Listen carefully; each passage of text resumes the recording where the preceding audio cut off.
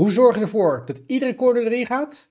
Ik ga het je vertellen. Wat je moet doen is heel erg simpel. Dus als je deze stappen volgt, dan gaat het echt altijd goed. Je hebt twee mogelijkheden. Eén mogelijkheid is dat de keeper op zijn lijn blijft staan. En de andere mogelijkheid is dat de keeper uit zijn goal komt. Als de keeper op zijn lijn blijft staan, doe dan het volgende. Neem de corner met vreefschot. Zorg ervoor dat de lijn tussen de bal en het 16 meter gebied ongeveer 3 vierde is. Vervolgens hou je L2 ingedrukt en met vierkantje geef je full power op de bal. De bal gaat dan richting de speler die vlak voor de keeper staat. Deze kiest positie en vervolgens maak je een omhaal. De andere optie is dat de keeper iets uitkomt. Je doet in feite alles hetzelfde, behalve het vreefschot geef je met iets meer curve van de keeper af.